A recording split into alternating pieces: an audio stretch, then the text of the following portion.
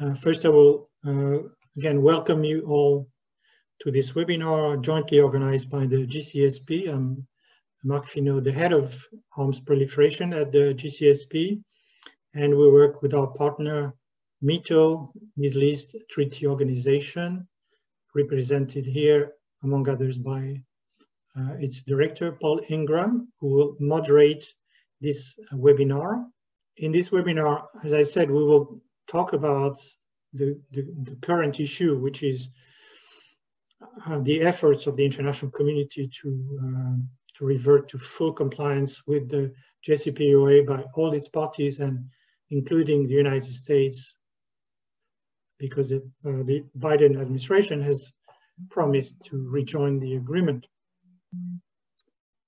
And uh, obviously we'll look at impacts in, on regional security, global security, in particular the prospect of WMD free zone. And we will also, of course, look in particular at the role of the remain, remaining parties uh, in the JCPOA. Thank you, Mark. Um, so I'm going to go straight to Taya. Uh, Tarja Cronberg uh, is going to give um, a European perspective on the issue uh, that is uh, very hot today. Uh, she's a distinguished associate of the Stockholm International Peace Research Institute, SIPRI, and I'll hand straight over to you, Taya. Thank you, Mark and Paul.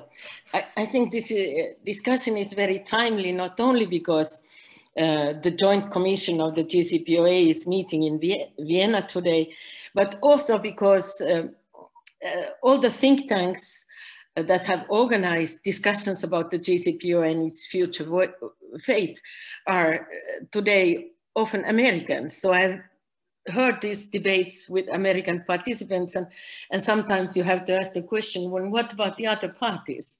So I'm really glad that we are having this debate about the other parties. And uh, as an European representative, uh, I was in the European Parliament also as the chair of the Iran delegation. And I would like to remind you of the, of the original goals of this whole process. It was the EU, actually E3, their foreign ministers that started this uh, activity when uh, the US went to Iraq. This was in 2003. The foreign minister said, we need to talk to each other. We need to talk to Iran and actually initiated the process. The EU had three goals. The first was to avoid military action. This was very acute at the time. And actually, if you look at the goals today, you can see that this is a goal that has been achieved. There has been no military intervention so far in Iran the second goal was uh, the unity of the European uh, countries, EU countries, because they had been divided in the Security Council because of Iraq. So the idea was also to create unity in the European Union among the member states, and this has been successful. I, I think if you look at the EU foreign and security policy, the Iran deal is the one where everybody has agreed. There have been slight discussions, but consensus has always been easy to achieve. The third goal is the most difficult one and, and the one that's up to discussion today and, and maybe in the future also, is the global role of the EU. There was in the, in the Iran deal, Iran process, and in a hope of uh, the EU achieving its global role other than with the increasing number of members, but being actually on the, creating a global arena and being there. And this is maybe one of the goals that have been have seen many, very many cracks lately.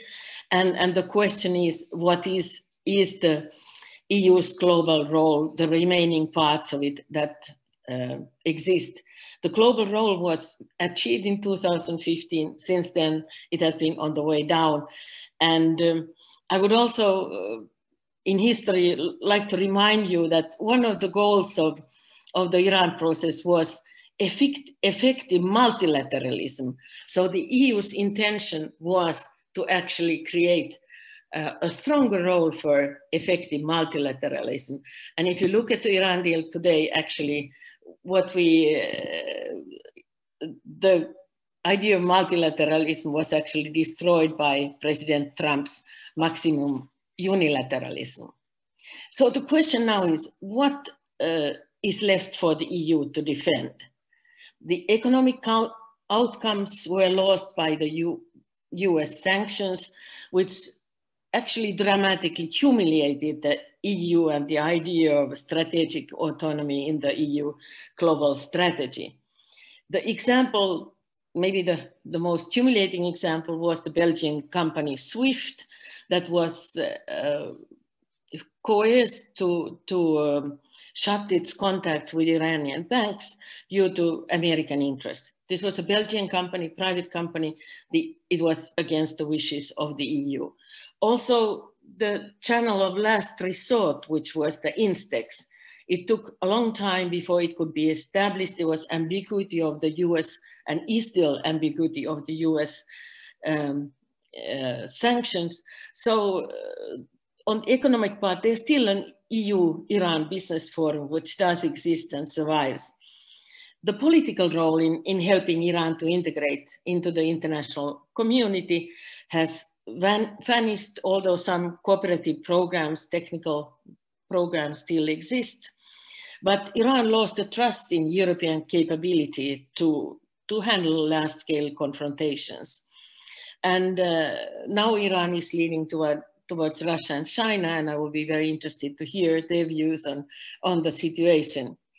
The next president, Europe has uh, tried to push for cooperation with the moder moderates and the reformists, and the next presidency is bound to be a, a, conservative.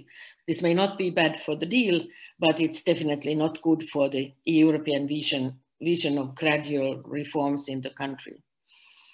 So the question to Vienna would be today, what can be uh, done to repair in the current situation with a new American government who has promised to re-enter the deal? The, the very special part has been this sequencing problem, who goes first, sanctions first or uh, commitment to, to the JCPOA first from Iran side. And I, I think in a way, uh, this is not specific to this um, deal.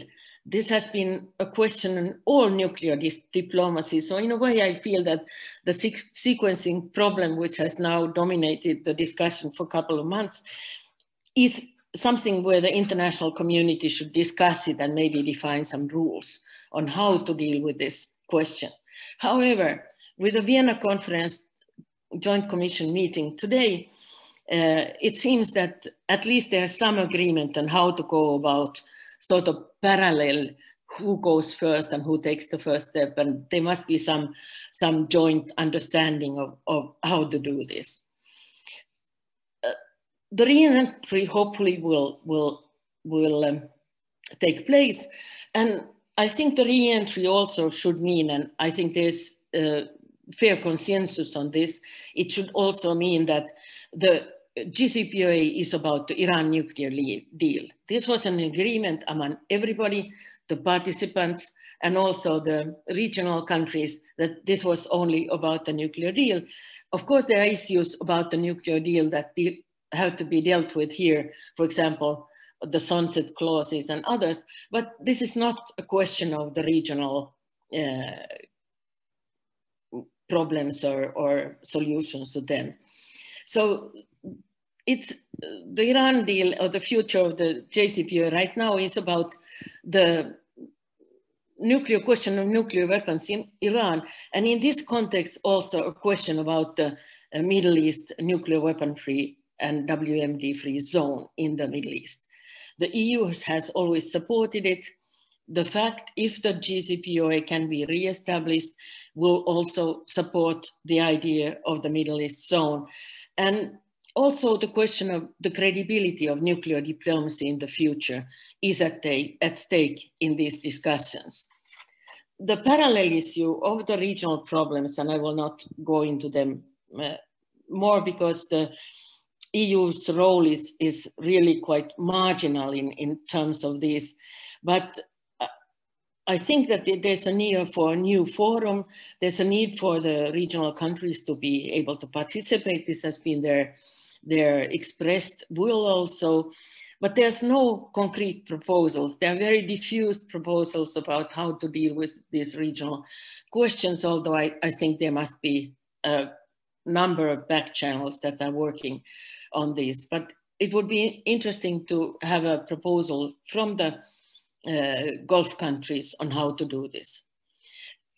Finally, I, I would like to uh, confirm once more that the most important factor for the Europeans, both the EU and the E3, is to avoid military conflict. As the negotiations have started and, and, uh, and there's this debate about uh, the deal in the future, the question of a military intervention has, has been pushed to the background and maybe rightly so.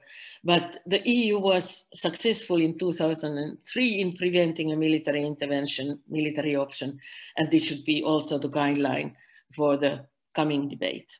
Thank you.